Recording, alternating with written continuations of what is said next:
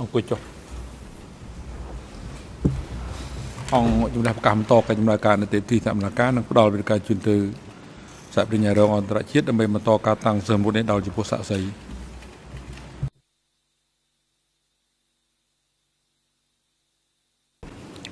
Thank you, Mr. President.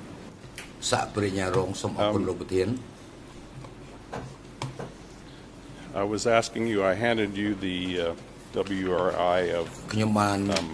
a person ប្រ that គល់ you លោកកំណត់ identified ស្ដាប់ as ដំណើរដែល the លោកអឺ commander ស្គាល់ of ថាជា the មេ intervention បញ្ជាការអន្ត brigade រា of Division គមន៍ 221. កងវរៈ Indeed, in his សេ own នាអឺ uh, interview, he, he Tumulay Piro acknowledges that he was Napaimoy. the commander of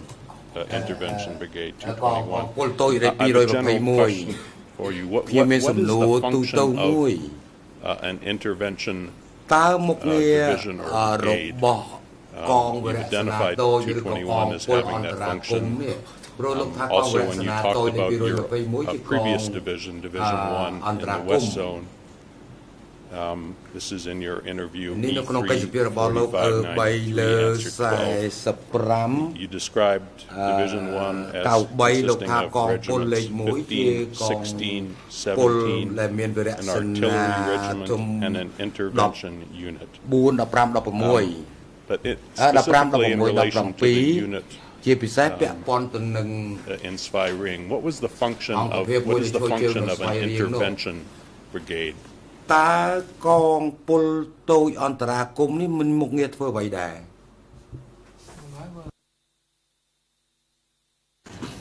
ខ្ញុំសូមបញ្ជាក់ពួកកងនៃអន្តរាគមន៍នេះមិនមែនជារបស់តែ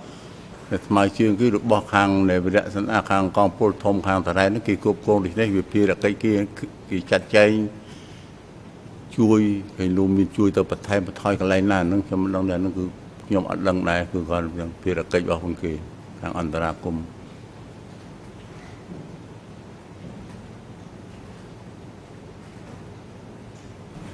My question is more general. How, how is a intervention brigade different from,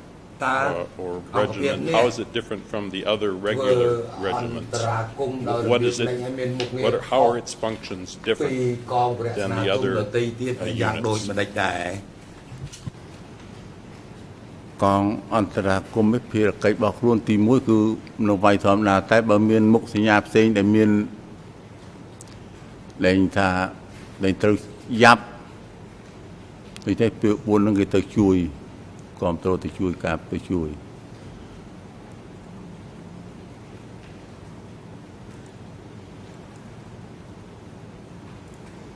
Would- Would it be accurate to say that an សាស្ត្រីវិ intervention ញ្ញាតើ brigade is ត្រឹមត្រូវ one ទេថាក that ង would be ពល considered តូចអន្តរា um, គមន៍ mo- ត្រូវបាន mobile ចាត់ and ទុក that it would be ថា deployed around ជាក at ងពល different តូច locations depending មួយ on ដែលអា the ចចល័តទៅ situation? កាន់ទីតាំងផ្សេងផ្សេងអាស្រ័យទៅតាមសភាពការនោះ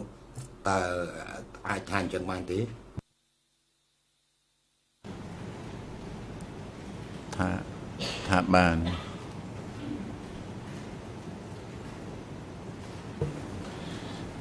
Now, you've indicated that the សព្រិញ្ញាលោកបាន the បញ្ជាក់ battlefront ថានៅ um, ឯសមរ at the ភូមិ time មុ you ខ arrived នៅពេលដែលលោកទៅ in ដល់ Svay Ring, នៅឯស្វាយរៀងនោះ um, was at the border គឺអឺ in លោក the ទៅដល់នៅឯ Babette ទី area. តាំងមួយគឺនៅតំបន់បវត្ត Did that change uh, at all between June 1978 រវាងពីខែមិថុ and នាឆ្នាំ um, at least the start of 1978 December 1978? អឺទៅ Um, ដល់ was យ៉ាង there ហោចណាស់ any គឺដើមខែ uh, ធ្នូ movement back and 78 forth តើវាមាន uh, or ការ movement in the battle ចល័តត front where you were ទៅមុខ fighting ទៅក្រោយ uh, in the first five ឬ months ក៏ uh, មាន that ស្ you ថា were ន in ភាព Spy Ring? អឺនឹងប្រែប្រួលយ៉ាងដូចម្ដេចដែរនៅពេលដែលលោកឈរជើងនៅឯស្វាយរៀងរយៈពេល5ខែហ្នឹ ក្នុងពេលសភាពដែលខ្ញុំចូលជើងនៅរយៈប៉ុណ្ណឹងខែចំនួនពេលវេលានោះគឺមានសភាពការតឹងដែងជាការដែលជាការយួននោះវានាំបុកដោយយល់កោះមកបុកយើងប្រងកំភ្លើងធំដាក់យើងអាហ្នឹងគឺបាញ់គ្នាតទល់តមកនឹងខ្លាំងដែរហ្នឹងគឺសភាពការគឺតឹងតែងដែរនៅកន្លែងនៅពេលនោះ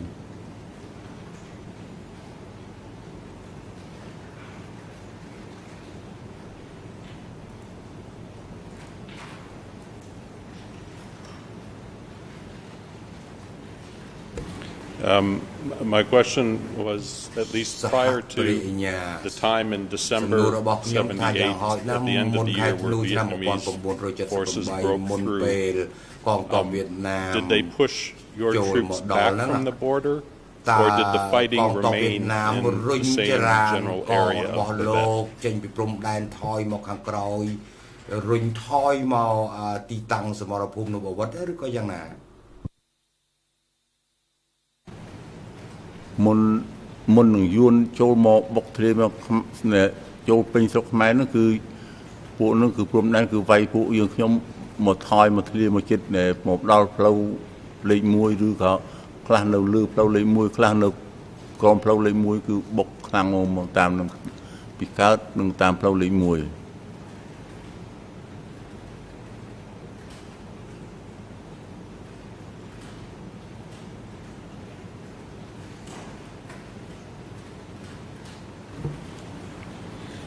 Um,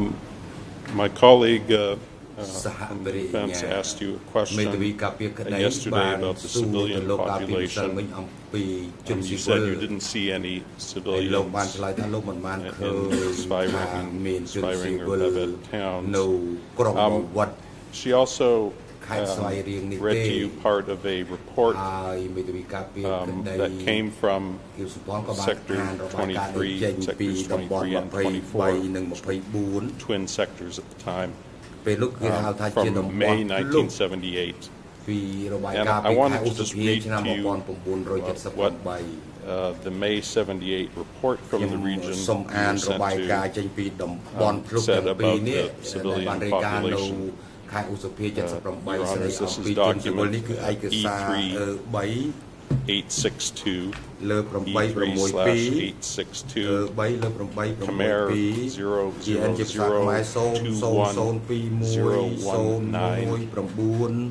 English 0018អង់គ្លេស0018 707ដល់08 French បារាំង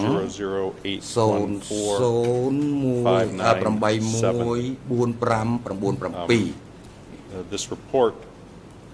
regarding បាទរបាយការណ៍នេះគឺ said the following របាយការណ៍ពីតំបន់20 We have withdrawn people នឹង24រាយការណ៍ដូចតទៅយើងបានដកប្រជាជនពី4ស្រុកដែលរស់នៅក្នុងទឹកដីរបស់យើងស្រុកទាំងអស់នោះមាន district Chantria ស្រុកចន្ទ្រាស្រុកកំពង់រោស្រុកសំរោង នឹងស្រុកប្រាសាទហើយខាងក្រោមមកទៀតនេះគេនិយាយអំពីជីវភាពរបស់ប្រជាជន EN ជាភាសាខ្មែរ0021 027អង់គ្លេស00185712 French បារាំង00814603 quote សំដកស្រង់ because people in ដោយសារប្រជាជននៅប្រាសាទកំពង់រោចន្ទ្រានិងស្រុកសំរោងត្រូវត្រឡប់ទៅសមរភូមិក្រោយមូលដ្ឋានក្រោយអញ្ចឹងពួកគេខ្វះខាតចំណីអាហារបន្លែសាច់ជ្រូកសាច់ត្រីឬក៏សាច់ទាអឺដោយសារតែស្រូវអង្គទាំងអស់ហ្នឹងគឺថាត្រូវបានបំផ្លិចបំផ្លាញនិងលួចយក ពីសំណាក់ខ្មាំងជាច្រើនលើកច្រើនសារបញ្ចប់ការដកស្រង់អញ្ចឹងប្រហែលខែមុនពេលដែលលោកទៅដល់នឹងគឺជនស៊ីវិលនៅក្នុងបណ្ដាស្រុកទាំង4នេះនៅឯបវត្តហ្នឹងគឺប្រជាជនហ្នឹងគេត្រូវបានបញ្ជូនមកមូលដ្ឋានខាងក្រោយ ring a bell at all are are you able to tell us តើអ្វីដែលបានរាយការណ៍នេះជួយរំលឹកដល់ការចងចាំរបស់លោកទេហើយតើលោកដឹងទេថា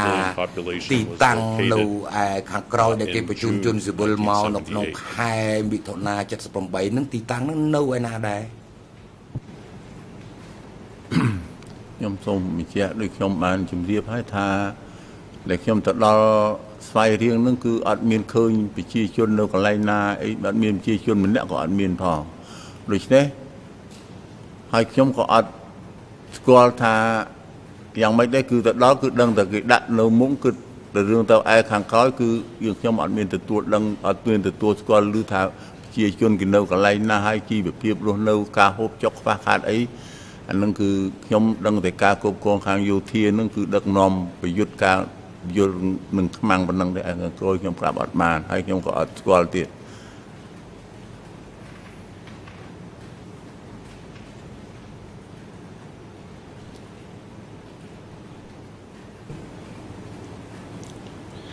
And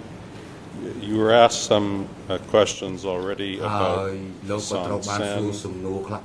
I may come back to ask you a little more, more about them later. Um, but, um, as I'm finishing some questions about the ប៉ុន្តែសារខ្ញុំត្រូវបញ្ចប់សំណួរអំពីការរៀបចំចាត់ចែងនិងរចនាសម្ព័ន្ធរបស់កងទ័ពនេះ the OCIJ ខ្ញុំសូមអានកំណត់ហេតុស្ដាប់ចម្លើយរបស់សាកសីម្នាក់ជាមួយ សហចៅក្រមស៊ើបអង្កេតដែលចេញមកពីសេនាធិការដែលធ្វើការជាមួយសុនសេនហើយទៅជាមួយសុនសេនទៅសមរភូមិមុខនៅឯបូព៌ានៅឆ្នាំ77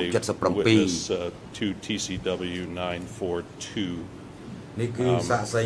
ពី TCW 942ឯកសារគឺអឺ3លើ426 426 Khmer 00357492 English 00364 French 00403 Uh, this is what um, he testified នេះគឺជាអ្វីដែលគាត់បានឆ្លើយសំដកស្រង់ក្រោយមកនៅក្នុងឆ្នាំ1977គណៈមជ្ឈិមបានចាត់តាំងឲ្យសុនសេនទៅឈរជើងនៅឯសមរភូមិមុខ នៅពេលដែលកងទ័ពវៀតណាមនឹងវាយប្រយុទ្ធនៅស្វាយរៀងហើយក្រោយមកសុនសេនឲ្យខ្ញុំទៅធ្វើការនៅកន្លែងបច្ចុតាក់ទងនឹងផកភានៅមន្ទីរស្វាយរៀងនៅចុងឆ្នាំ1977បញ្ចប់ការដកស្រង់ thing I wanted to specifically ask you about is this witness refers to a communication radio and logistics office in អង្គភាពប្រជុំតាក់ទងនឹងផុសភាដែលនៅឯស្វាយរៀង Do you know this office តើលោកស្គាល់មន្ទីរនេះទេ And do you remember where where it was located and who ហើយបើស្គាល់ហ្នឹងលោកដឹងថាមន្ទីរហ្នឹងមានទីតាំងនៅកន្លែងណាដែរ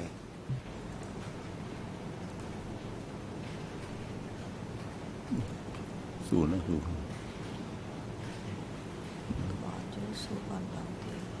ខ្ញុំខ្ញុំសុំសួរម្ដងទៀតស្ដាប់អត់បានទេ Did you know a communications radio and logistics office មន្ទីរវិទ្យុតាក់ទងនឹងផុសភានៅឯស្វាយរៀងនោះតែត្រូវមន្ទីរនេះត្រូវបានគេប្រើប្រាស់ថាជាមន្ទីរវិទ្យុតាក់ទងនឹងផុសភានៅពេលដែលលោកទៅដល់ឯស្វាយរៀងលោកស្គាល់មន្ទីរនេះទេ ខ្ញុំអត់ស្គាល់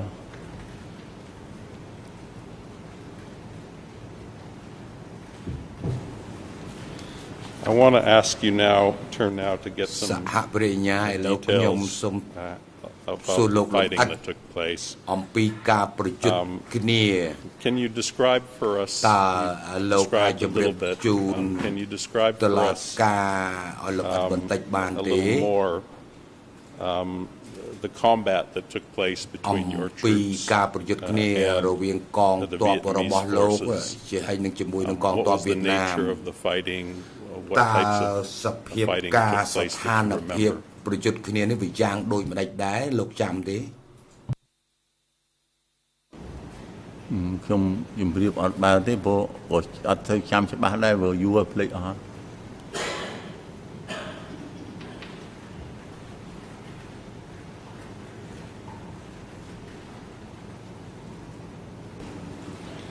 Well, during the six months that you were out, ក្នុង approximately រ six យៈ months ពេល you were in ប្រហែល Svay 6ខែដែលលោ uh, ក how ចូលជើង often នៅ was ឯ there ស្វាយ fighting រៀង between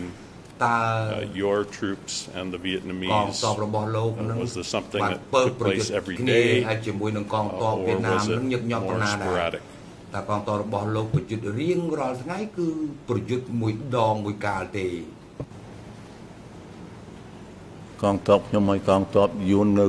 ព្រំនៅជាប់នេះគឺប្រយុទ្ធរាល់ថ្ងៃព្រោះនៅទល់មុខគ្នាហ្មងគឺប្រយុទ្ធរាល់ថ្ងៃ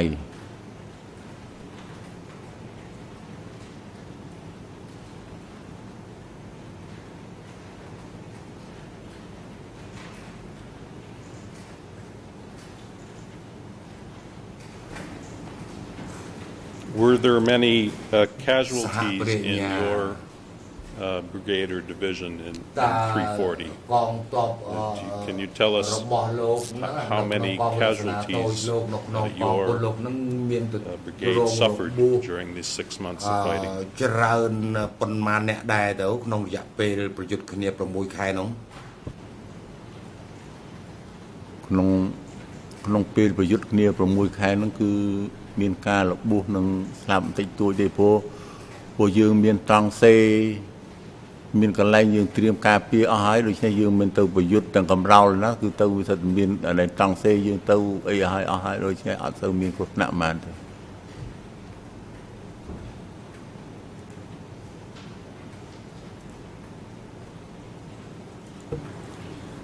so Are you saying that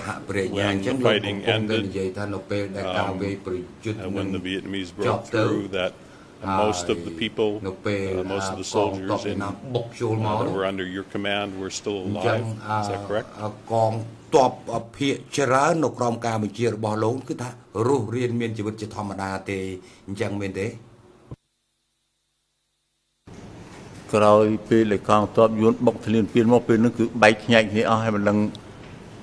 នរណាស្លាប់ប្រហែលរស់ម៉ានគឺអត់ដឹងដែរពីរយួនបុកមកគឺម្នាក់ម្នាក់រត់យកទៅ រួចទៅរៀងខ្លួនដែរនោះគឺស្ដាប់អត់បានពេលនោះ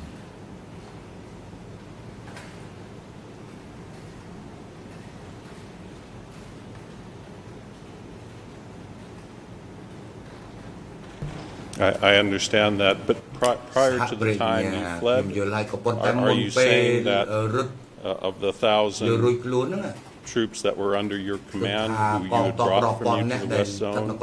there had only been a few casualties? ប្រចាំទៅបូព៌ាហ្នឹងតើមានការរងរបួសហ្នឹងតិចតួចទេឬ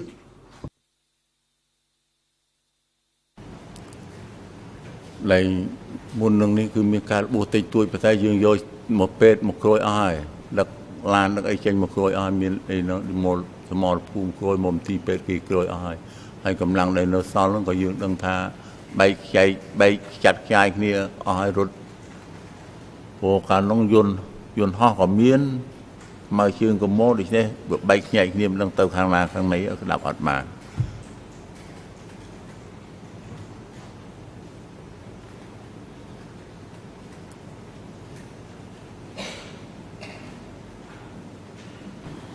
អឺ was was there also um, aerial attacks or bombing conducted by Vietnamese planes um, in your area? And so when, when did that begin? ហើយបើសិនណាជាមានការបាញ់ផ្លោងពីសំណាក់យន្តហោះនេះតើតើលោកដឹងថាបាញ់នៅដុំណាដែរ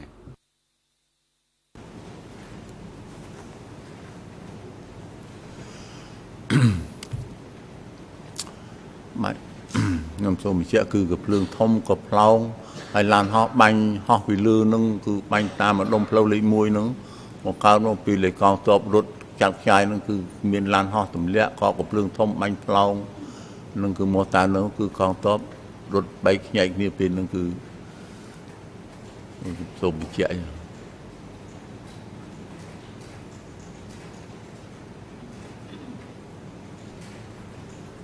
And when when was it that you were dispersed to a different location? Uh, how long after your initial arrival? នៅនៅពេលរយៈពេលប្រហែលដែរបន្ទាប់ពីលោកបានទៅដល់ស្វាយរៀងជាលើកដំបូងហើយលោកត្រូវបានបដូរទីតាំងនោះ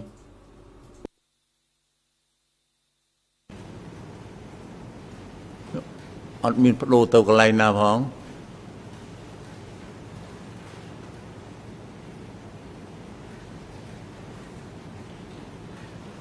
So you're just saying you move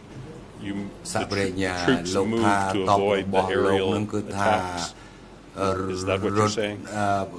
កិច្ចចេញអំពីការទម្លាក់ក្របបែកពីសំណាក់យន្តហោះនេះអញ្ចឹងលោកនិយាយថាអញ្ចឹងមែនទេខ្ញុំថាកងទ័ពខ្ញុំរត់ពីដែលយួនបុកខ្លាំងចូលខ្លាំងនឹងហើយនោះគឺកងទ័ពឡានហោះក៏ទម្លាក់ក៏ភ្លើងធំអាថ្មើជើងក៏វាបុកអា ដែលឡានហោះក៏ទម្លាក់ក្របផ្លោងក៏ផ្លោងដូច្នេះកងទ័ពនៅមិនបានក៏នាំគ្នារត់មកថយក្រួយមកបែកខ្ញាច់គ្នាអស់ទំនឹងការប្រយុទ្ធនោះគឺវាចាប់ទំនឹងហើយធ្វើអស់កងទ័ពនឹងមកដល់មីក្តាប់កូនអត់បានកូនក្តាប់មីអត់បានដឹងរត់ទៅណាម្នាក់ម្នាក់យកតែយូររៀងខ្លួន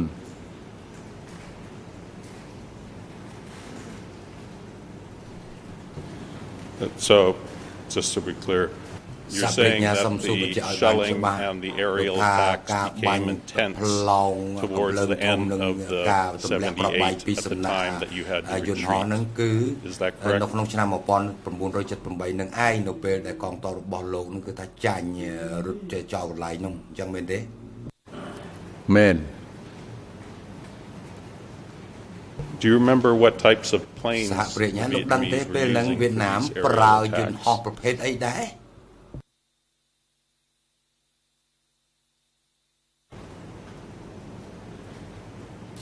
អេពេលពេលនឹងយន្តហោះគឺខ្ញុំក៏មិនស្គាល់ម៉ាកដែរតែគ្រាន់តែពួកអាកជ្រើបមកលឺសូមមិនសិនវឹងវឹងលឿននោះមកទម្លាក់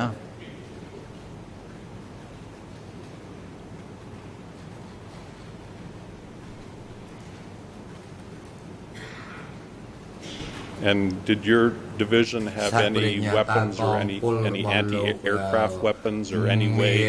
of defending against attacks by these uh, airplanes? ការបាញ់ពីសំណាក់យន្តហោះនេះដែរទេសម្រាប់អង្គភាពខ្ញុំគឺអត់មានកំភ្លើងអីបាញ់ការពារយន្តហោះទេតែឃើញថាកងទ័ពរបស់ខាងលឺអានឹងគឺខ្ញុំក្តាប់មិនបានព្រោះថា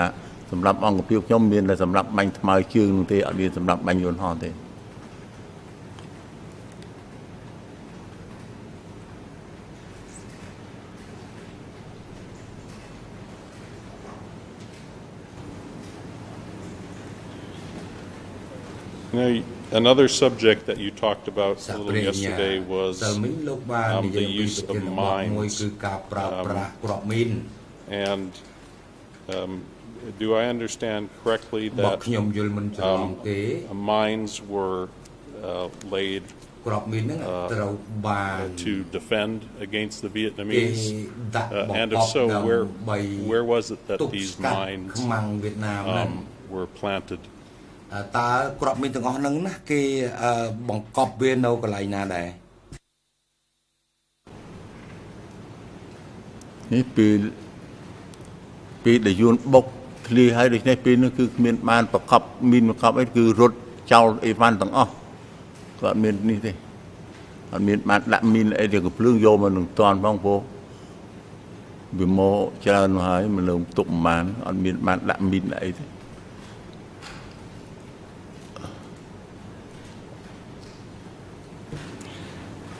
Uh, I'm, I'm not talking now about the, the end of 78 when the Vietnamese broke through. I'm talking about when you first arrived in June 78. Um, were mines in use at the border at the time? តើគេមានប្រើប្រាស់មីនដាក់នៅតាមព្រំដែនទេនៅពេលដែលលោកទៅដល់ជាលើកដំបូងនោះ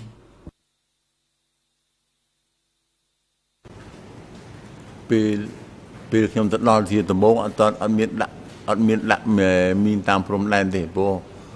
ពួកកងទ័ពចុះឡើងខ្លាចច្រឡំដែរអត់មានដាក់ទេអត់ទាន់មានដាក់ទេ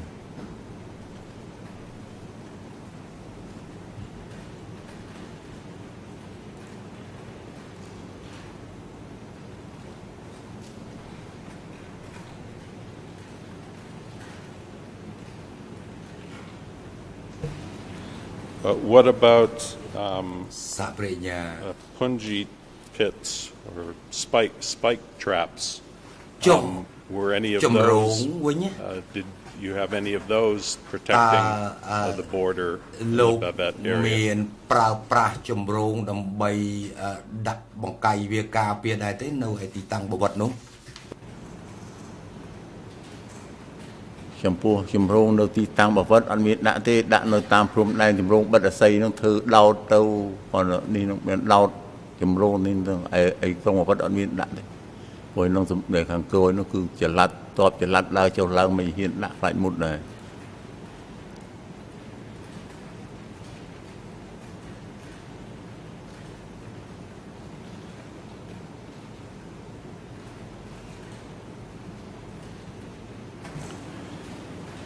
In relation to the spike traps, um, I want to read to you another excerpt um, that came from that May uh, 1978 report um, for Sector 23. Uh, again, this is E3 862 Khmer 0021 uh, English 00185 and French 0081459 Uh, this is in section 1 of the report នេះជាផ្នែកទី1នៃរបាយការណ៍កម្មវត្ថុខ្មាំងមកពីខាងខ្មាំងផ្ទៃក្រៅនៅក្នុងតំបន់13សំដកស្រង់ We have raised people's motivation យើង to បាន make ជំរុញ1 million ប្រជាជនណា635,000ឲ្យជួយធ្វើជំរង1លាន6សែន35,380ជំរងអាដើម្បីទៅដាក់នៅឯសមរភូមិបើខ្ញុំសូមអានតួលេខនេះឡើងវិញគឺ635,000 1លាន6សែន35,380ជំរង This based on this contemporaneous report there បើនេះ seems គឺជារ to បាយ have ការណ៍នៅ quite an ស effort มัយកាល underway នោះ uh, inspiring អ uh, ញ្ចឹង to build អា these spike traps គឺគេឲ្យ can you ជំរុញទឹកចិត្ត describe, ប្រជាជនឲ្យជួយធ្វើជំរងនេះ uh, what these spike traps were like and តើ um, specifically where were they ជំ put? រងទាំងអស់ហ្នឹងសូមលោក uh, រៀប at រាប់ the បន្តិច border? មើល How វា far មានអា from រៀង the border? រៅយ៉ាងដូចម្ដេចដែរ ហើយអាមជំរងហ្នឹងគេដាក់បង្កាយវាបង្កប់វាដោយរបៀបណាដែរជំរងសូមបញ្ជាក់គឺជំរងគឺធ្វើពីរស័យប្រវែងហើយជា3ទឹកអីនោះទេដូច្នេះបិទស្រួចបិទឲ្យស្រួចឲ្យយើងកទុយទងនឹងគឺដោតដោតតាមកន្លែងណាដែលយើងដែលយើងផុតខ្សែត្រៀមយើងអីគាត់ដាក់នេះប៉ុណ្ណឹងអញ្ចឹង ហើយហើយពួកខ្ញុំនេះមិនមានអីដាក់ព្រោះនៅកណ្ដាលអង្គភាពនៅកណ្ដាលគេមិនមានអីដាក់ជំរងអីផងទេគឺដាក់ទៅខ្លាយតបចល័តទៅមុតតែគេយកដាក់កន្លែងណាដែលទំនីដែលតបមិនមានតបទៅដល់ឬ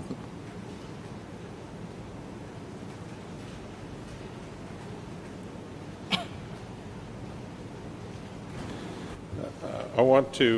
uh, also um, ask you about ឥឡូវនេះខ្ញុំចង់សួរលោក a document បន្ that ថែ came មអំ from ពី the ឯក standing សារ committee របស់គណៈអ of ចិ the ន្ត្រៃយ៍ very top leaders in គឺជា Phnom ឯក Penh. សាររបស់ថ្នាក់ដឹកនាំជាន់ខ្ពស់បំផុតនៅទីក្រុងភ្នំពេញ Um, this appears in minutes of a គឺជាកំណត់ August ហេតុកិច្ចប្រជុំ1975 ខែ uh, កញ្ញា trip they took to the 75 northwest ដែលគេ zone និយាយអំពីការធ្វើដំណើរទៅពីយប់គឺឯកសារ slash E3 លើ216 E3 216 216 uh, section 2.1.b.2 of the គឺ minutes ជានៅក្នុងគឺនៅផ្នែក Um, នៃ included, កិច្ចប្រជុំ uh, នៃរបាយ detailed ការណ៍កិច្ចប្រជុំ instructions នោះ from គឺ the និយាយអំ standing ពី committee about ការ putting spikes បញ្ជារបស់ along ខាង the គណៈ border អចិន្ in ត្រៃយ៍ the ឲ្យ northwest. រៀប ជំរង And នៅ this តាម is ព្រំ the ដែន instruction that was ហើយជា given. ការបញ្ជា Quote, ដែលបាន A mix ចេញ of គឺថា old and modern weapons គឺ should ត្រូវ be ប្រើប្រាស់ used. ទាំងអាវុធ including ទំនើបនិង especially អាវុធ spikes បុរាណ to place ជាពិសេស along the គឺ border. ការរៀបចំជំរងនៅតាមព្រំ All ដែន kinds of spikes must be used. ជំរងគ្រប់ប្រ Those at ភេទ the height ត្រូវ of a បាន person's foot ប្រើប្រាស់ Sole, instep, and shin, and គឺ up ត្រូវ to the stomach. ប្រើជំរង End of ដែល quote. អាចមុតជើងហើយនឹងជំរងដែល Is ជ្រៅវែងវែងអាច this មុត the type ធ្លាយដល់ of ពោះ Uh, ដូ spike ច្នេះតើ traps ជំ uh, រំ that ដៅ were ជំរង prepared ហ្នឹងឯង at the Spy Ring តើ border. គេមានរៀបចំរំដៅជំរងបែបនេះដោយដែលរៀបរាប់នឹងនៅខេត្តស្វាយរៀងដែរទេសូមបញ្ជាក់ចំពោះនៅខាងស្វ័យរៀងអត់មាន ដែលចម្រងដោយគេប្រាប់ថាជីចណ្ដៅអីដាក់ឲ្យមុតជ្រៅមុតទ្រូងមុតអីអត់មានទេមានដាក់ចម្រងជើងរងមុតជើងហើយវាបីទឹកនោះមុតខាងដាក់ខ្លះតែឲ្យមានចម្រងមុតជ្រៅក៏អត់មានទេអត់មានចម្រងវែងមុតជ្រៅដល់ខ្លួនមនុស្សអត់មានទេ Were there many Vietnamese soldiers who were wounded by the តើ spike traps? មានទាហានវៀតណាមច្រើនទេដែលរងរបួសដោយសារចម្រងទាំងអស់នោះក្តៅអត់បានដែរគាត់មិនមែនមកវាក្តៅអត់បានទេបើមកគាត់ឃើញទឹកបាញ់នោះវាអត់មកដូចទេតោះមុតមុតអានឹងគឺក្តៅអត់បាន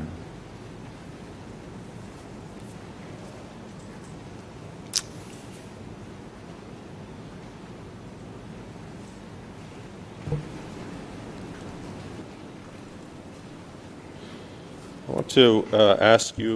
uh, a few questions about ឥឡូវនេះខ្ញុំចង់សួរលោកបន្ថែម attacks អំពីការ uh, វាយ into Vietnam. ប្រយុទ្ធ Um, ចូល did ទៅ your វៀតណាម division តើលោកហើយនឹងកងពល uh, របស់ or any លោក of the ឬមួយក៏ divisions that កង were ពល under ដ Ren's ទៃទៀតដែល command ស្ថិតក្រោមការបញ្ជា engage របស់ in រ៉ែន any combat or fighting that took place ចូល inside រួមនៅក្នុងការ Vietnam? វាយប្រយុទ្ធណាមួយនៅក្នុងទឹកដីវៀតណាមដែរឬទេ ខ្ញុំសូមបញ្ជាក់អង្គភាពខ្ញុំនៅទៅមកគឺអត់មានបានវាយចូលក្នុងទឹកដីយួនទេគឺវាយទៅនៅការពារព្រំដែនរបស់ខ្លួនទឹកដីរបស់ខ្លួនគឺអត់មានតំណាទេនៅទល់នៅនោះ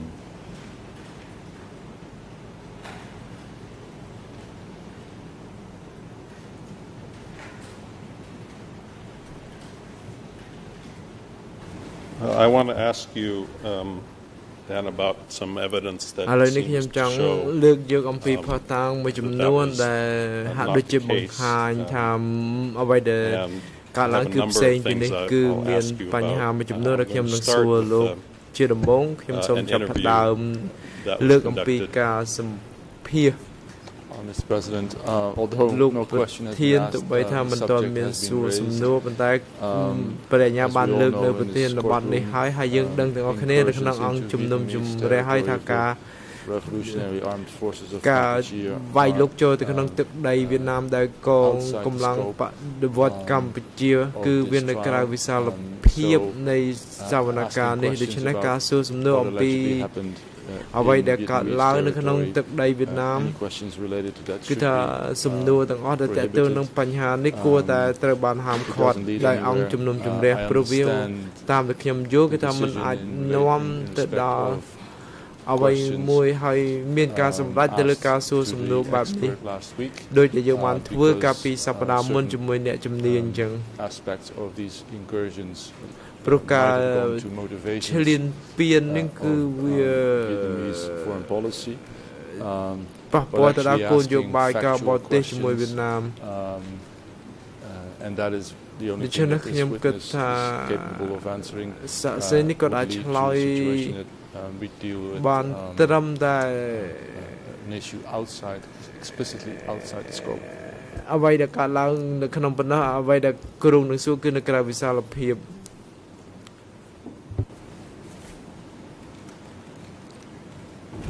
Euh, et pour compléter l'objection de mon confrère à laquelle euh, je m'associe évidemment. Euh, je note que de la réponse précédente et des réponses antérieures du témoin m'indiquaient que lui, il était en charge de sa seule unité que son unité n'est certainement pas allée en territoire vietnamien. Il n'y a pas de raison de lui proposer autre chose. Il parle de ce qu'il sait. អឺចោទសំណួរ donc គាត់ទៅ lui លើអ្វី opposer ដែល des គាត់ éléments មិន qui ដឹង de surcroît ចឹង sont សួ en រគាត់ dehors ទៅលើអ្វីដែលគាត់ដឹងទៅ du បានហើ champ យ du procès ហើយ euh, វា n'est pas នៅ acceptable. ក្រៅ Donc, ពីវិសាល nous ភាព objectons នៃ d'autant សំណុំ plus fort. រឿងយើងនេះផងអញ្ចឹងខ្ញុំសូមជំទាស់អឺត្រង់ការសួរបែបនេះ Uh, if I may respond, it's ខ្ញុំ simply សូមអនុ false ញ្ញាត to ឆ្ say លើ it's យ outside the តប scope. ព្រោះថា What is, um, it is, uh, វា incursions into ព្រោះថា Vietnam ការ as a ឈ្លាន crime ពានចូលទៅ are ក្នុង not វៀតណាម included. គឺជាឧក្រិដ្ឋកម្ម Um, but it is obviously ប៉ុន្ specifically តែ part ទោះ of បីថាវាមិន the មាននៅ armed ក្នុងវិសា conflict. ល It ភាព is ប៉ុន្តែ part of វាគឺជាផ្នែក um, the មួយ allegations នៃ related ការ to the ចោទ existence ប្រ of an armed កាន់ conflict. តាក់ទងទៅនឹង And ចំនួន indeed, ប្រ if ដាប់ you អា look វុធ at the closing ហើយ order, ប្រសិនបើយើងមើលទៅក្នុង you នៃ look ការ at the ដំណោះស្រាយ paragraphs ហើយយើងមើល related នៅ to the ក្នុងក armed ថាខណ្ឌ conflict តាក់ទងទៅនឹងចំនួន that ប្រដាប់ are អាវុធ incorporated នា as part of this នា case, ដែលយើងទទួលយកគឺ គឺកថាខណ្ឌ153នៃដីកាដំណោះស្រាយទាក់ទងទៅនឹងចំនួនប្រដាប់អាវុធគឺរួមបញ្ចូលការឈ្លានពានរបស់កងទ័ពបដិវត្តកម្ពុជាចូលទៅក្នុងទឹកដីវៀតណាមដូច្នេះប្រកាសថាផុសតានេះគឺវាអាចតាក់ទងទៅនឹងចំនួនហើយខ្ញុំសូមឆ្លើយតបថាមេធាវីការពារក្តីក៏បានលើកឡើងជាញឹកញាប់ផងដែរអំពីថាតើអ្នកណាជាអ្នកបង្ករឿងនៅក្នុងចំនួនប្រដាប់អាវុធមួយនេះបាទ ជំនះសម្រាប់បរិស័ទនៅដីជំទាស់របស់សហមេធាវីការពារក្តីទាំងពីរក្រមដោយសារកន្លងមកយើងបានសម្រេចឲ្យអាចសួរបានព្រោះមានទំនាក់ទំនងគ្នារវាងពាក្យថាចំនួនប្រាប់អាវុធតាមព្រំដែននេះគឺវាមានទៅមានមក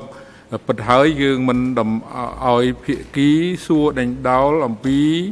ចំនួនដែលកើតមានឡើងនៅទឹកដីវៀតណាមលំអិតទេគ្រាន់តែធួបភិភាពពាក់ព័ន្ធគ្នាដើម្បីរំលឹកអំពីភាពពាក់ព័ន្ធគ្នារវាងចំនួន តែប៉ុណ្ណោះហើយចំណែកឯសំណួរមួយទៀតហ្នឹងដែលមួយទៀតគឺថាសាក់សីមិនទាន់ឆ្លើយទេរឿងដឹងមិនដឹងព្រោះការដឹងមិនមែនចាំបាច់ទៅដល់បានដឹងទេការដឹងវាព័ត៌មានផ្សេងផ្សេងព្រោះយើងសួរកន្លងមកស្ទាន់តែលឺគេថាក៏សួរដែររួមទាំងមេធាវីការពារក្តីទាំងសងខាងផងជើអញ្ជើញបន្តសំណួរ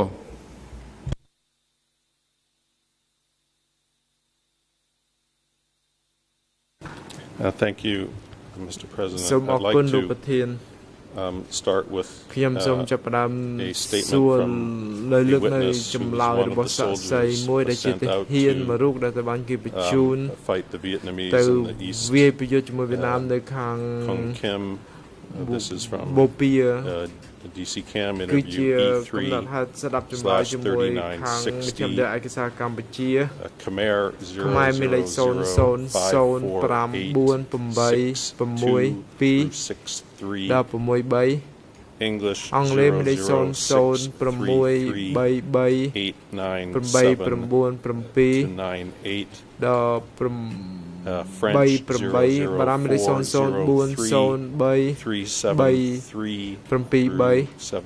ដល់74 Um this is what this individual said a question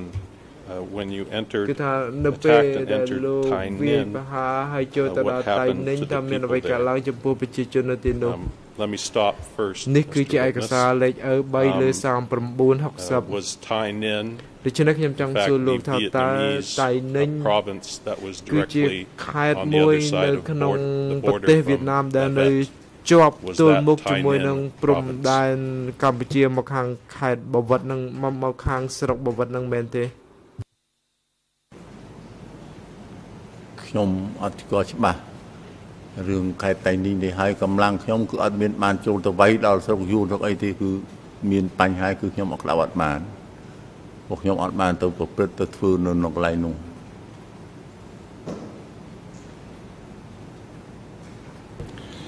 Well this witness the soldier សាក់សីរូបនេះគឺជាកងទ័ពហើយគាត់រៀបរាប់អំពីការចូលទៅដល់តៃនិញហើយគាត់បានរៀបរាប់អំពីការវាយប្រហារតាមភូមិខ្ញុំមិនអានលម្អិតទេប៉ុន្តែខ្ញុំសូមរំលងទៅដល់ផ្នែកដែលខ្ញុំចាប់អារម្មណ៍មួយ question សំណួរ Did the division តើ commander មេ give an បញ្ជា order ការ like ក that? ងពលបានចេញបញ្ជាបែបនេះមែនទេឆ្លើយបាទគឺមេបញ្ជាការបានចេញបញ្ជា question ដល់ what មេ was បញ្ជា the ការ name បន្ of ទាប់ your បន្ទាប់ division commander សំណួរតើ when you went to fight the មេបញ្ជា Vietnamese ការកងពលលោកឈ្មោះអ្វីដែរដែលបញ្ជាឲ្យលោកទៅវាយវៀតណាម Where នេះ was ចម្លើយគឺ Pon from ផន answer សំណួរ he តើ was from ផនមកពី Takao ខាងណាដែរឆ្លើយគាត់មកពីខាងខេត្តតាកែវសូមបញ្ចប់ Um, ការដក my ស្រង់ question to you ដូច្នេះ Mr. ខ្ញុំចង់ Witness សួរលោក ថា you've identified in your នៅក្នុងកំណ OCIJ ត់ហេតុស្ដាប់ statements ចម្លើយជាមួយកសចសរបស់លោកគឺលោកនិយាយអំពីកងវរៈសនាធំមួយដែលស្ថិតក្រោមបញ្ជារបស់ was រ៉ែន one of those ថា four តើ divisions កងពលទាំង uh, 4 division uh, 460គឺមានកងពល whose- 460 which ហ្នឹង was commanded by a person named Pon តើ from កង the ពល southwest zone 460ហ្នឹងស្ថិតនៅក្រោមបញ្ជារបស់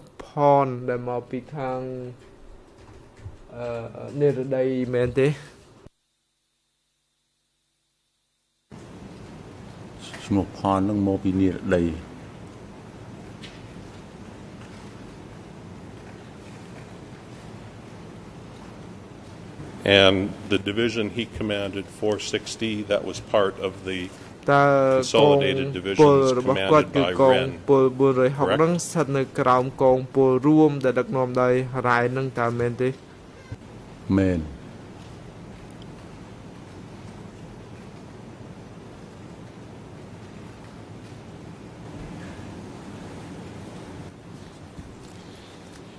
Um, another a witness um, សាក្សីម្នាក់ទៀត This is uh, Lay In ឈ្មោះ Lay In គឺជាកំណត់ហេតុអឺ3លើ376 E3 376 Khmer 00 Khmer 0027 173 through 7 4 017734អង់គ្លេសលេខ00277690 a French និងបារម្ភលេខ0048 6094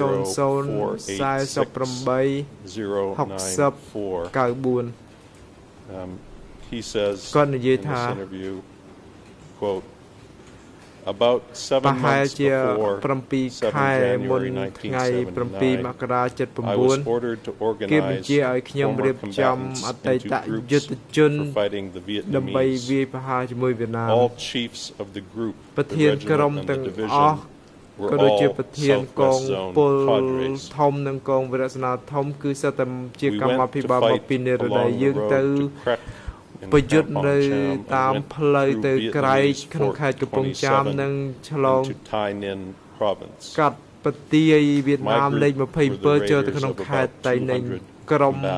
របស់ខ្ញុំបានធ្វើការវាយប្រហារក្រុមខ្ញុំដែលជាអ្នកវាយប្រហារនោះមានប្រហែលជា200នាក់សនគឺជាប្រធានកងវិរៈសេនាធំញគឺជាប្រធានកងវិរៈសេនាកងពលតូច207ហើយតាផិនគឺជា ប្រធានកងពលធំក្រុមរបស់ខ្ញុំគឺថាយើងធ្វើការវាយប្រហារប្រហែលជា3ខែហើយយើងទទួលបញ្ជាពីតាសនឲ្យកំទេចអ្វីអ្វីទាំងអស់ហើយគាត់មិនបាននិយាយអំពីគោលការណ៍ឬក៏វិន័យសង្គ្រាមអ្វីឡើយក្នុងពេលដែលយើងវាយប្រហារនៅក្នុងវៀតណាមក្រុមខ្ញុំហើយនិងខ្ញុំបានចោលបានបានគប់ក្របែកដុតផ្ទះដុតពេទ្យយោធាដុតកន្លែងស្តុកអាវុធក្រមសេវហើយនឹងឃ្លាំងផ្សេងផ្សេងគាត់បាននិយាយអំពីកង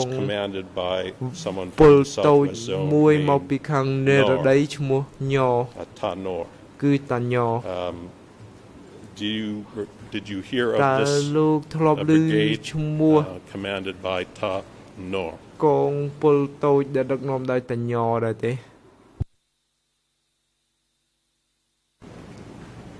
កងពលទុយដឹកនាំនៅទីញខ្ញុំអត់ដែលឮឈ្មោះហ៎អត់ដែលឮឈ្មោះញហ៎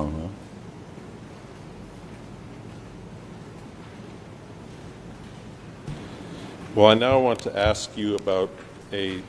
specific incident ឥឡូវនេះខ្ញុំនឹងលើកហេតុការណ៍ជាក់លាក់មួយដែលរាយការណ៍ដោយអ្នកងារវៀតណាមគឺ DNA នៅខែតុលា78 គឺជា របាយការណ៍ដែលរៀបរាប់ថាកងពលរបស់លោកគឺកងពល340ហើយនិងកងអន្តរកម្មពិសេសពី21បានចូលរួមនៅក្នុងការវាយប្រហារ into Ben Cao ចូលទៅក្នុងខេត្តទៅក្នុងតំបន់បេនខៅនៅក្នុងខេត្តតៃ ninh គឺឯកសារ E3/1608 3គឺ E3 លើ1608 Khmer ERN 00810ខ្មែរមានលេខ0081011114 English អង់គ្លេសមានលេខ S S 00013 179 179ដល់ and French 080បារាំលេខ007993 493 This is what that uh, it's a VNA report របាយការណ៍ VNA នោះគឺរបាយការណ៍នៅខែតុលា78បានបញ្ជាក់ថានៅថ្ងៃ1តុលាអញ្ចឹងមេធាវី En tant que c'est Euh, merci, Monsieur le Président. Euh, une nouvelle objection euh, dans la formulation de la question de Monsieur le co-procureur. Il a indiqué qu'il s'agit de votre division 340, compte tenu des réponses précédentes du témoin qui a expliqué que dans le cadre de l'organisation des combats, il n'avait absolument aucun contact avec les autres brigades pendant cette division. Aujourd'hui, parler de façon générale d'une attaque qui indique ne pas avoir mené à laquelle il n'a pas participé compte tenu de sa déposition, le prémisse est faux. Et euh, la question n'est pas justifiée puisque le témoin ne va pouvoir éclairer euh, la Chambre sur ce point. Ça a été déjà dit dans ses déclarations précédentes. Donc j'objecte euh, à la question. វាខុសទៅហើយតែអញ្ចឹងសំណួរដែលសួរចេញទៅចម្លើយចេញក៏ខុសដែរអញ្ចឹងខ្ញុំជំទាស់ទៅទៀតត្រូវចំណុចនេះ Mr President in addition លោកប្រធានខ្ញុំសូមបន្ថែមបន្តទៅទៀត case 002/02 សំណុំរឿង002/02 គឺជាសំណុំរឿងធំ we are acting we are um defending our client យើងការពារកូនក្តីរបស់ខ្ញុំដោយផ្អែកលើការសន្មមត់ថាมันមានការពិភាក្សាអំពីការឈ្លានពានចូលទៅក្នុងទឹកដីវៀតណាមយើងមិនដឹងថាកម្មាភិបាលដែលទើបតែអានមកហ្នឹងគឺមានសកម្មកម្មអាចជាទុកជាឬក៏អត់ឬក៏វាមានផុសតាងអ្វីឬក៏អត់ព្រោះយើងមិនបានធ្វើការសិក្សាស្រាវជ្រាវទៅលើរបាយការណ៍របស់វៀតណាមព្រោះយើងគិតថាយើងមិនត្រូវ ធ្វើការសិក្សាអំពីចំណុចទាំងអស់នេះប៉ុន្តែឥឡូវនេះវាធ្វើឲ្យយើងមានការលំបាកមួយដែលថាហេតុអ្វីក៏លើកយករបាយការណ៍បែបនេះឬក៏កំណត់ត្រាបែបនេះព្រោះថាមេធាវីការពីក្តីត្រូវដឹងថាតើការសមនកម្មនឹងធ្វើពីអ្វីវាវាមិនអាចថាយើងគ្រាន់តែនិយាយថាយើងនិយាយស្អីក៏បានតាមចិត្តនោះទេព្រោះថាមេធាវីការពីក្តីគេត្រូវតែមាន ស្ថានភាពមួយដែលអាចត្រៀមការពារខ្លួនបានយ៉ាងល្អហើយដូច្នេះខ្ញុំគិតថានៅពេលដែលលើកយកផុសតាងអង្គហេតុគឺចាំបាច់ណាស់ដែលត្រូវឲ្យយើងច្បាស់ថាយើងនឹងមិនពិភាក្សាអំពីការឈ្លានពានចូលទៅក្នុងទឹកដីវៀតណាមនោះទេដូច្នេះខ្ញុំសូមដល់អង្គជំនុំជម្រះមេត្តាហាមឃាត់ចំពោះសំណួរបែបនេះ ព្រះអញ្ញាលោកប្រធានខ្ញុំគិតថាវាជារឿងគួរឲ្យកត់សម្គាល់មួយដែលថាលោកមេធាវីគុពេឡើងម្ដងហើយម្ដងទៀតម្ដងហើយម្ដងទៀតដែលថាគាត់និយាយថាវៀតណាមគឺជាអ្នកចាប់ផ្ដើមបង្ករឿងប៉ុន្តែឥឡូវហ្នឹងបែរជាគាត់និយាយទៅវិញថាគាត់មិនបានត្រៀមអំពីបញ្ហានេះខ្ញុំសូមបញ្ជាក់ថាប្រកាសណាស់ថាវាគឺជាការនិយាយអំពីចំនួនប្រដាប់អាវុធដែលតេតើទៅនឹងសាក់សីរូបនេះហើយកងពលរបស់គាត់គឺមានបញ្ជាក់ច្បាស់នៅក្នុងរបាយការណ៍នេះតែម្ដងគឺជារបាយការណ៍ដែលខ្ញុំ គ្រោងនឹងលើកយកមកអាននេះបាទអង្គជំរះសម្រាប់បដិសេធនៅសេចក្តីជំទាស់របស់មេធាវីទាំងពីរក្រុមចំពោះសំណួរនេះហើយមានភាពពាក់ព័ន្ធអំពីចំនួនប្រដាប់អាវុធវាមានតំណែងតំណងគ្នាយើងបានបញ្ជាក់ហើយថាពិតមែនតែវាមិនសួរដេញដោលស៊ីជំរឿទៅលើអង្គហេតុលំអិតលើអង្គហេតុនៅក្រៅវិសាលភាពប៉ុន្តែពាក្យចំនួនប្រដាប់អាវុធពាក្យឆ្លោះនេះបានន័យថាវាមានទៅវាមានមក អញ្ចឹងហើយបានយើងវាចង់ដឹងថាតើវាមានភាពពាក់ព័ន្ធនេះយ៉ាងដូចម្ដេចខ្លះអំពីតំណែងតំណងនៃចំនួនប្រាប់អាវុធនេះបានវាកើតឡើងជាចំនួនឡើងហើយសាក់សីអាចអាចឆ្លើយបានព្រោះមេធាវីដូចយើងបានប្រាប់អញ្ចឹងយើងបានចំលឹកហើយថាសួររហូតដល់គាត់ដឹងឮពីណាមកក៏គាត់សួរដែរមិនមែនសួរសាក់សីបានឃើញផ្ទាល់ដឹងផ្ទាល់បាន សួរបានទេហើយមិញគាត់បានឆ្លើយហើយអំពីកងពលផ្សេងផ្សេងទៀតគាត់បានដឹងអញ្ចឹងពាក្យថាដឹងនេះគឺមានន័យទលំទលាយជាងអ្វីដែលបានឃើញផ្ទាល់នឹងភ្នែកបានមកសួរដេញដោលភាសាសូមជ័យបន្តលោកថាបញ្ញារងអន្តរជាតិ Thank you, Mr. President. Um, សូមអរគុណលោកប្រធាន So this is a report នេះគឺជារបាយការណ៍មួយ uh, relating to October 1978, and it states as follows, quote, បញ្ហានៅខែតុលា78ខ្ញុំសូមអាននៅថ្ងៃ1តុលាកងទ័ពប៉ុលពតអៀងសេរីនៅក្នុងកងពលធំ221គឺកងពល221បានធ្វើការវាយប្រហារជាទ្រង់ទ្រាយធំក្នុងគោលដៅដើម្បីគ្រប់គ្រងទឹកដីនៅក្នុងបរិវេណរបស់ប្រទេសវៀតណាមគឺនៅខាងលិចបិនកៅក្នុងស្រុកតៃ ninh កងរស្នាធំរបស់កម្ពុជាមួយបានទទួលរងការ ខូចខាតយ៉ាងធ្ងន់ធ្ងរគឺទាហានជាងរយៈត្រូវបានសម្លាប់នៅនៅនៅក្នុងសមរភូមិចំណែកនៅដទៃទៀតត្រូវបានចាប់ខ្លួននៅថ្ងៃតែមួយហ្នឹងគឺថាកងកម្លាំងវៀតណាមបានបោះសម្អាតកងពល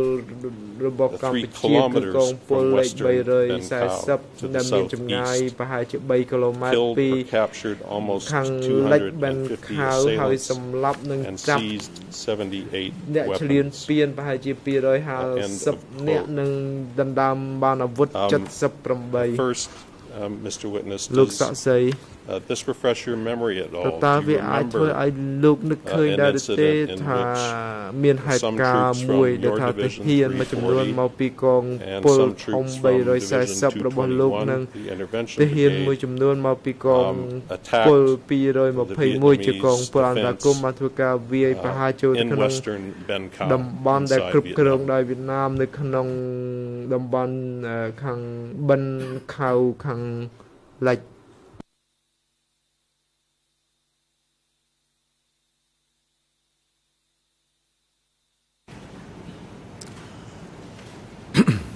ខ្ញុំ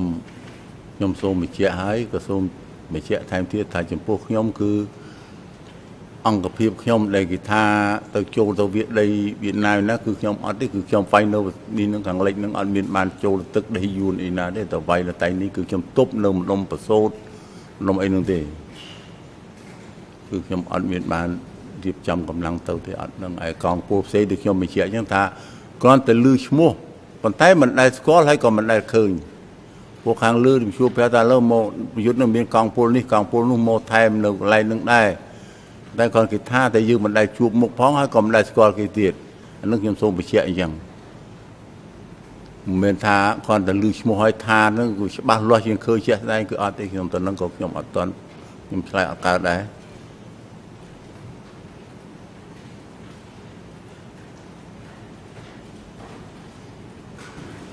Well,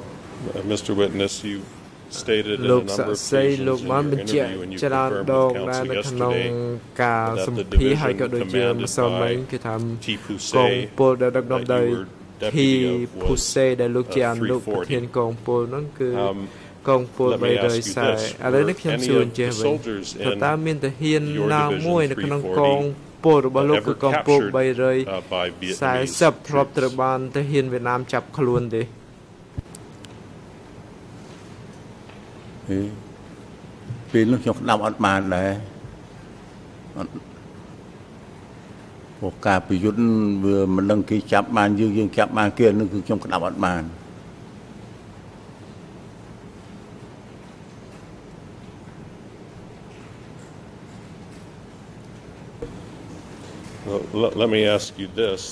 នេះខ្ញុំសួរលោក this ចេះវិញ report from the Vietnamese រ news បាយ agency ការណ៍ពីភ្នាក់ងារ that សារព័ត៌មាន correctly វៀតណាម identifies បាន both the បញ្ជាក់ number of your division ច្បាស់អំ340ពីចំនួននៅក្នុងកង and the number of the ពល Special Intervention 340និងកង 221. ពលអន្តរ Were គ the ម numbers of, was the number 221 of ដូ your ច្នេះខ្ញុំ brigade ចង់សួរ public ថា knowledge? តើ Uh, or is this something that would have hap-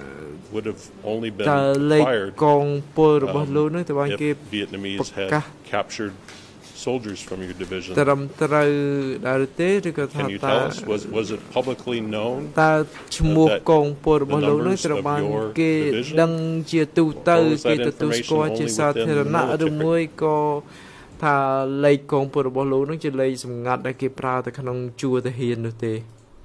ក៏កុំអត់តឆ្លើយតបសាក់សីសូមអញ្ជើញលោក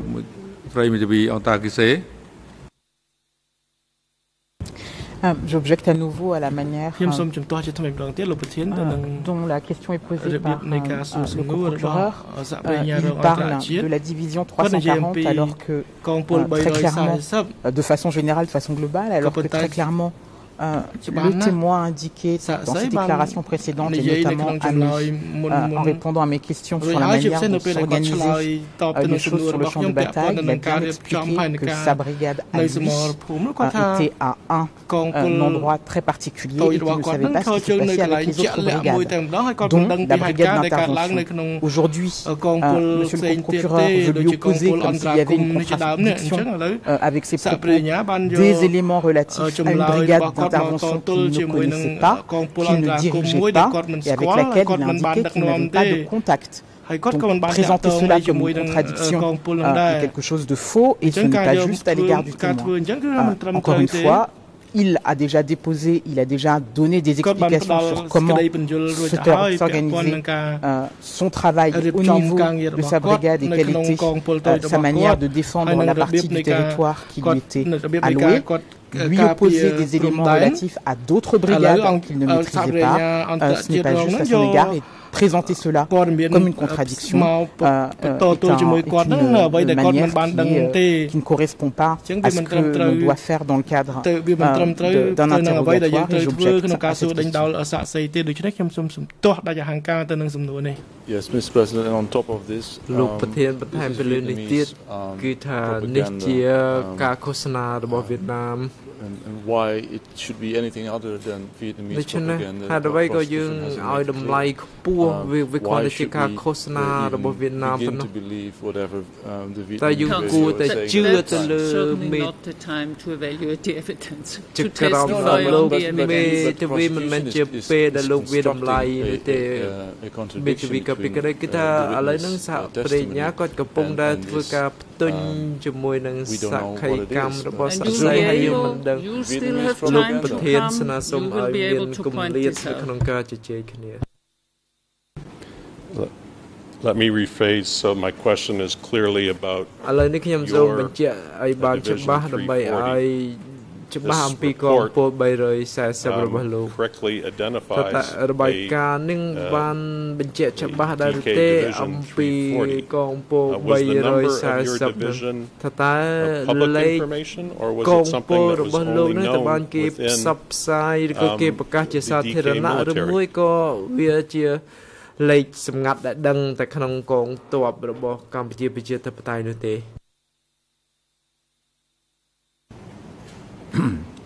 ខ្ញុំសូមបញ្ជាក់លេខកងពល340នេះគឺទើបដែលទៅកើតទៅបង្កើតដែលដាក់ឈ្មោះនឹងនៅឆ្នាំ78នឹងដែលទៅវាយនៅយួននឹងទេទើបបង្កើតនឹងទេ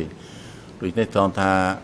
មិនបានដូចជាផ្សាយដឹងមិនដឹងជាទូទៅអានឹងគឺមិនដឹងគ្រាន់តែមករៀបចំកងពល340នឹង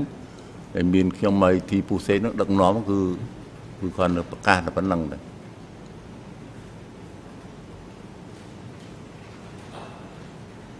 And my question was, did you publicize the number of your battalion, or was that confidential, uh, confidential information only known within the military? ព័ត៌មានសម្ងាត់ដែលដឹងតែក្នុងចំណោមកងទ័ពទេលេខនេះគឺ ដឹងតែក្នុងកងទ័ពទេព្រោះប្រយុទ្ធនៅឆ្នាំ78នេះប្រយុទ្ធចិត្តចាញ់យួននឹងហើយគឺរៀបចំកម្លាំងឈ្មោះលេខកងឈ្មោះកងនឹងលេខនឹងគឺ78ដែលចិត្តដែលចិត្តយួនដែលចិត្តយួនបុកទ្រាហ្នឹងទេគឺអត់មានបានប្រកាសទៅខាងណាខាងណីទៀតហ្នឹងគឺខ្ញុំកណ្ដាំគ្រាន់គឺបានដឹងតែប៉ុណ្ណឹងក្នុងចំណោមអង្គភាពដែលរស់នៅជុំវិញនឹងប៉ុណ្ណឹង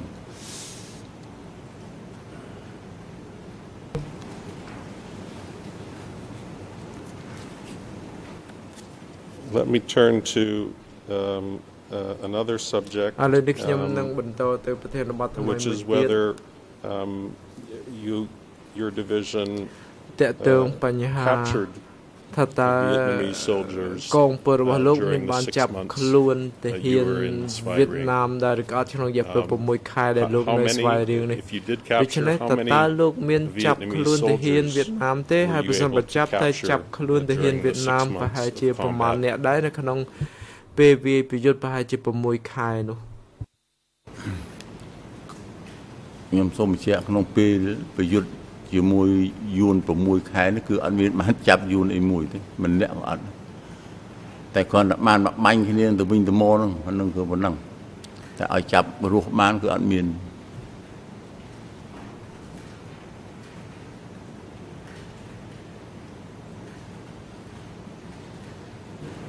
Um, can can you explain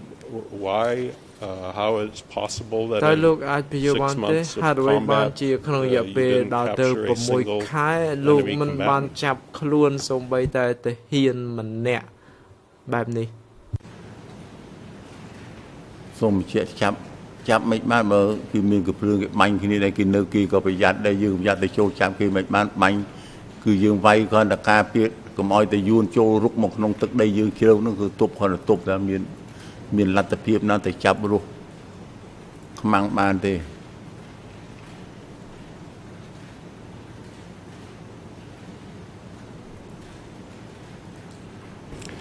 Well, let me confront you with some evidence uh, on this question, Mr. Witness.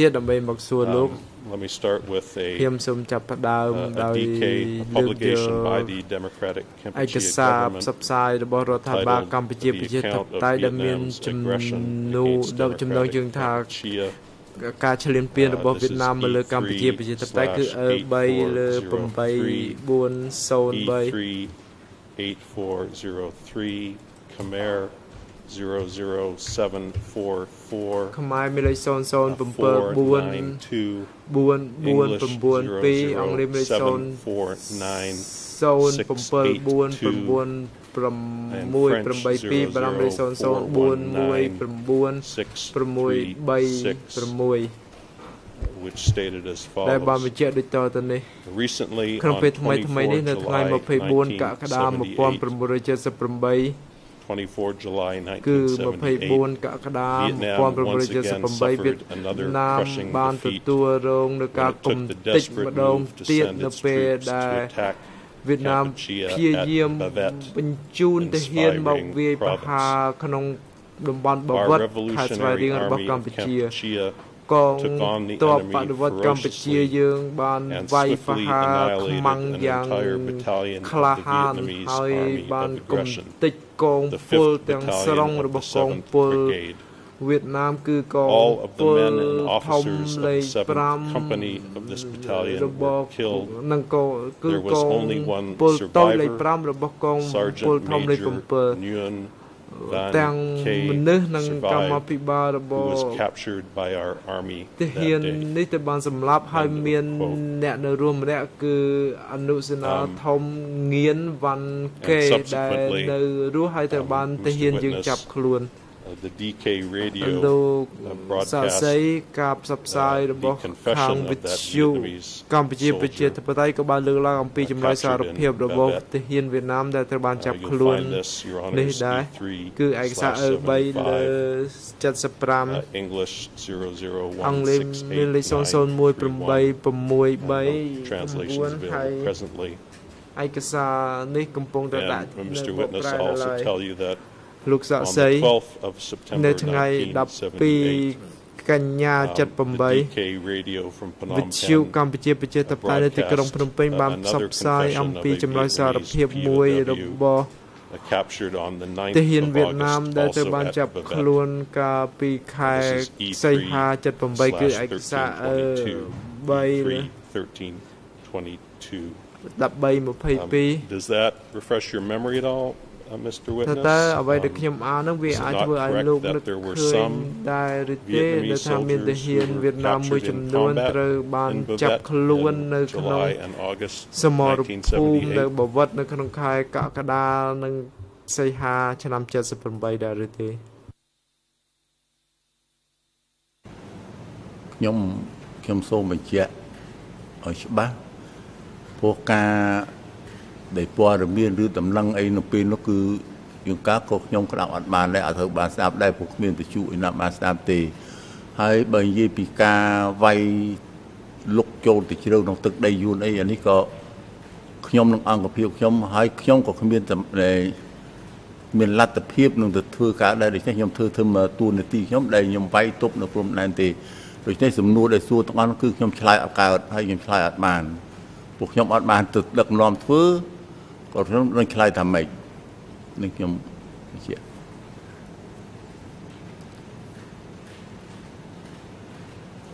Uh, Mr. President, I can break here or, or continue. ហ៊ានទៅថាខ្ញុំគួរបន្តទៅទៀតឬក៏ជប់សម្រាប់សិនយើងប្រធានអង្គជំរះយើងនឹងលៃពេលព្រោះដើម្បីជួសជុលការបាត់បង់ពេលវេលាភាគីពាក់ព័ន្ធទុកលទ្ធភាពយើងអ្នកសម្របសម្រួលលើបញ្ហាពេលវេលា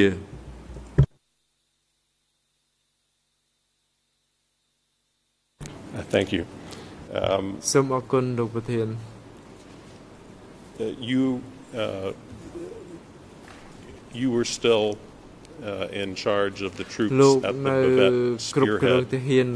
in July and August នៅក្នុងខែកក្កដាសីហាឆ្នាំ78តើអញ្ចឹងមែនទេខ្ញុំខ្ញុំក្តាប់អត់សូវបានថ្ងៃខែទេ នៅបវត្តគឺបើតាមខ្ញុំដែរទៅនៅនោះហើយទៅដល់នោះមិនដែលឃើញវាយយួនហើយចាប់បានយួនអត់ដែលឃើញអត់មានប្រយុទ្ធនេះធំនៅមកវត្តនឹងផងអត់ដែលមានទេខ្ញុំហើយអង្គភាពខ្ញុំទៅដល់ហើយខ្លួនអត់ដែលឃើញបានប្រយុទ្ធអីហើយចាប់យួនបានតែអត់មាន Well, let, let me ask you this. Um, did you have any instructions from your superiors on what you were to do if you did capture uh, enemy soldiers? បានទាហានរបស់ខ្មាំងដល់ទេតើមានការបញ្ជាថាតើត្រូវធ្វើយ៉ាងណាចំពោះទាហានដែលដែលលោកចាប់ខ្លួនបានទេ នឹងគឺមានបទបញ្ជាដែលចំពោះឆ្លើយសឹកគឺមានច្បាប់គឺហាមឃាត់ដែលក្នុងនៃសិលធម៌របស់នៃកម្ពុជាទៅតែមានសិលថាជ្រឿយសឹកដែលចាប់បានមកគឺអត់ឲ្យជេរឲ្យវាដំអីទេគឺអត់ឲ្យមានធ្វើបាបធ្វើអីតែគឺជ្រឿយសឹកគឺច្បាប់មានតែខ្ញុំអត់ដែលមានចាប់បានឆ្លីសឹកអីមួយទេ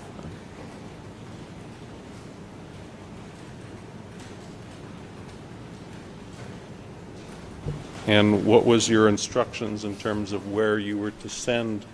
Vietnamese soldiers who were captured? តើតើគេមានបញ្ជាថាទាហានវៀតណាមដែលចាប់បាននឹងឬក៏ទាហានដែលចាប់ខ្លួនបាននឹងត្រូវបញ្ជូនទៅណាឬក៏យកទៅណាដែរ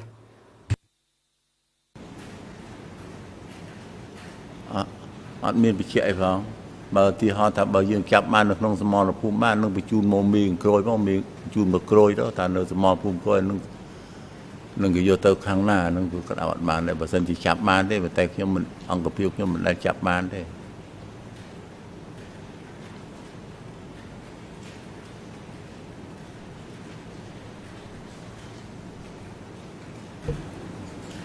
On the subject um, Mr. Witness, let me read to you នៅលើប្រធានបទនេះខ្ញុំចង់ឲ្យលោកសាក់សីស្ដាប់នៅកំណត់ថាស្ដាប់ចម្លើយរបស់មេបញ្ជាការកង វិរៈសេនាធំ701 part of the consolidated division ជាផ្នែកនៃ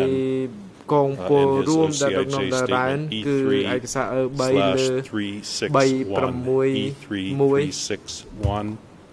Khmer 001គឺឯកសារ3លើ3 6ខ្មែរលេខ00194469អង់គ្លេសលេ ខ007766 454ដល់55